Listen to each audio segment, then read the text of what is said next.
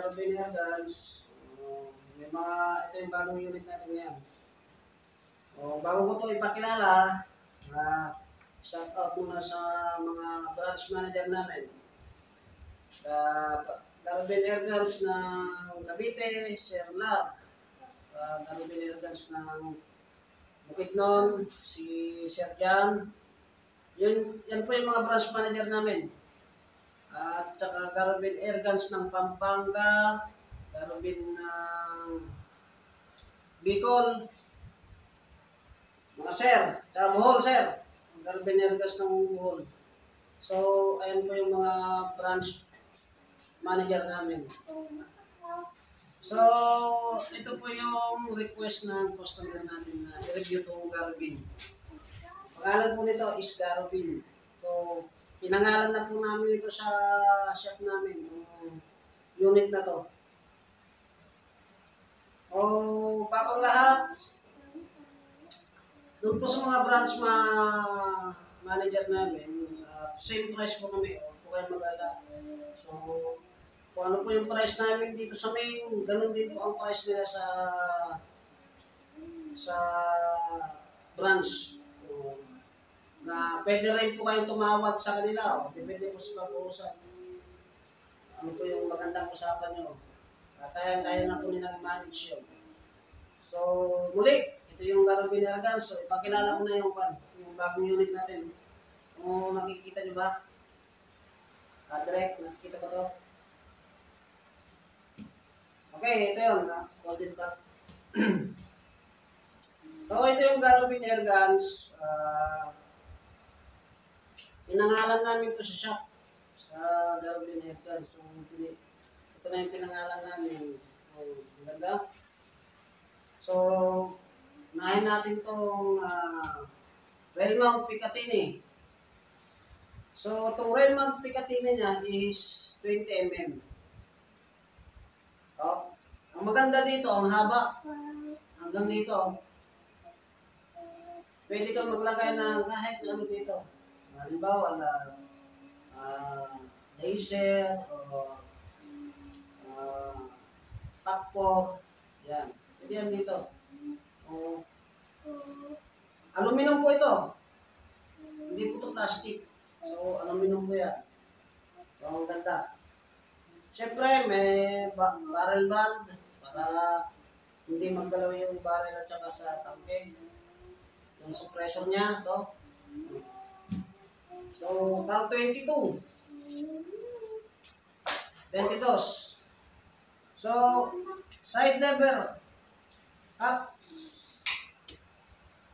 Ito yung uh, right side din na cut cancel. So, yung trigger, yung trigger, ganda lang trigger, may safety picture. Uh, may safe and unsafe. Tsaka maganda po yung pagkakagawa ng trigger niya. Maganda ng pagkakagawa niya. Lambot. No? Mapalo ko nga eh. So, meron siyang hand grip handle. Oh, hand grip handle. Siyempre, folded back. Para pwede mo sa pag... Ayan napaka lang, liit lang. Open din ba?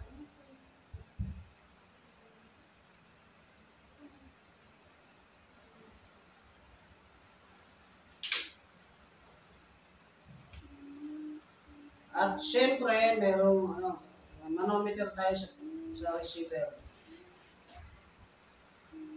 Meron ting regulator, 1,800 PSI yung output niya. Ito. Ayan. Kung makikita nyo. 1,000 PSI yung output niya. Yung tangke, yung tangke niya, uh, 3,000 PSI yung input. So, yung pagkakagawa ng receiver, uh, ano po ito? Yung aluminum matigas. 70-75 po yung aluminum nito. Oh, maganda yung pagkakagawa ng receiver. dito, sa ilalim, sa ilalim ng receiver, ah, may aluminum rail mounted siya na 20mm, so pwede ka pang maglagay dito ng bipod. O hand grip, pwede mo rin adjust dito, so ang dami pwedeng gawin dito. So, limited edition lang to. Ah, ganda. oh. Ang yung design talaga ng receiver, so pinag-isipan. Ah, pinag-isipan po namin. Ito po is ah ano po to? Design po namin, sariling design na po namin ito, sariling ah, lahat ng mga mga sulog-sulugan nito kami po yung nag-design.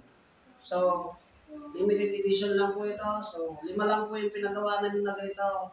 Ito actually, meron ng may-ari. Ah, pinaalam ko lang sa may-ari. Shout out sa iyo, Sir Emre. Salamat sa pagpapahiram. Ah, hindi ko naman ginasgasan. Ito pa rin siya.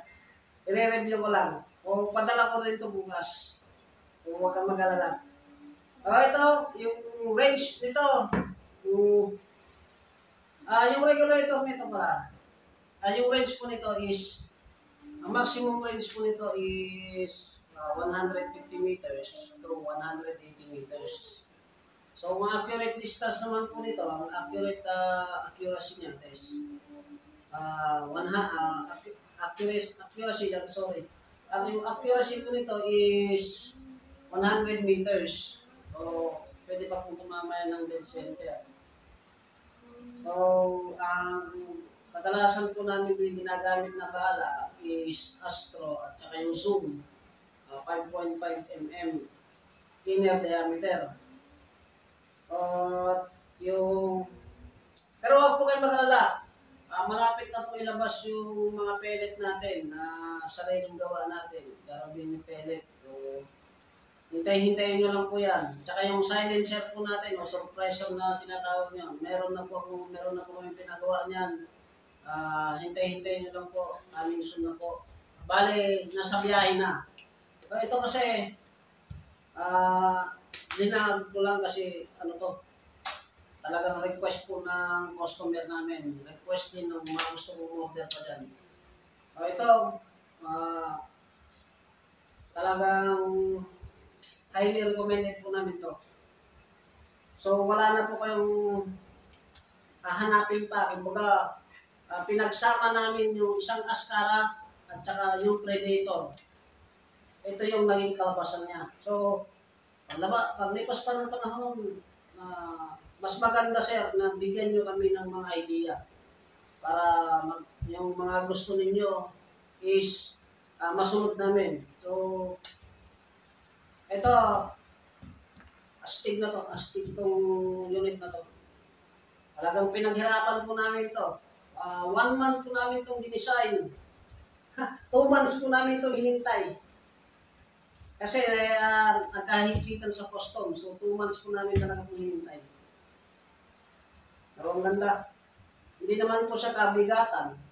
Kasi sabi nila, ah, mabigat po yan. Hindi. Hindi po. Kasi aluminum naman to, sabi nila, mabigat. Hindi po. Hindi po po kabigatan. Dahil lang. Kaya na na isang kamay. So, so sa mga gustong order, muli po, ah, chat nyo lang po kami sa Messenger, Garubin Dance, at saka sa WhatsApp, and Viber. So, ito, okay na okay po to. Promise. Sa susunod po, ah, kung gusto niyo po mag-order ng ito, magpapawabag po kami ng marami. Chat nyo lang po kami. Ang price, oh, ito na yung hinintay ng lahat. Magkano naman, sir? Magkano naman, sir? So, ito po, hindi naman po siya masyadong mahal. Ah, Nag-add lang po tayo ng konti. Konting-konti lang naman. Nasa 45,000 po ito. O, bibili ka na, uh, preset tray na yung silencer, tray na yung magazine, o, may tray mag pa. Meron po tayong tray mag ngayon. Saka, ah, promise po, ah, hindi kayo magsisisi dito sa iyo Sa forma pa lang, natalo na, na natalo na natin yung dapat ah, hindi naman natin dapat tanongin. Kumbaga, ano, ah, nakuha na natin yung gusto nating design. So, next, thousand po, i-upgrade pa namin. So, mas maganda kung mag-comment kayo. So, nga pala, sa mga nagko-comment, sir, sa YouTube, ng HM o how much, huwag po kayo mag-comment sa YouTube. Bawal po doon. Bawal po mag-comment ng mga magkano. O, i-message na lang po. Direct message nyo lang po. At saka po sa Facebook. Nakikita nyo po kami ng po sa Facebook at nag-comment po kayo ng HM na po. Two months na po akong ban sa Facebook. Kaya huwag na po kayo mag-comment sa Facebook. Eh, direct message na lang po ako. At naman po kami. Kahit po yung mga Juan, mga uh, branch manager po namin sa, sa Cavite, sa ah, Cavite, Bukidnon, Pampanga, Bicol, at saka sa ah, ano yung isa? Na Isabela coming soon, at saka sa Taguig. Coming soon po yan. So kahit sino po yung makausap nyo dyan, parehas po, huwag po kayo mag-alap, parehas po tayo ng price. So, muli, ito ang Garmin Airguns. So, ito na, ito na yung unit. So, bye. Thank you, thank you.